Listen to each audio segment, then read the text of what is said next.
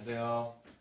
저는 Henderson I'm gonna be in Korea next month. I'm so excited. I'll see you guys at Battlefield. 한국 팬들 많이 많이 많이 사랑해요. 보고 싶어요. 감사합니다.